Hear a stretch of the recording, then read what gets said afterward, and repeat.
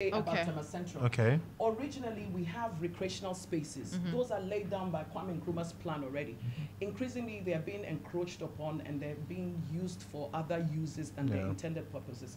This is uh, disturbing the work-life balance of residents, from the kids to the elderly. Mm. And so we're going to embark on a serious program to reclaim Okay. uh, recreational spaces and then make them fit for purpose. We have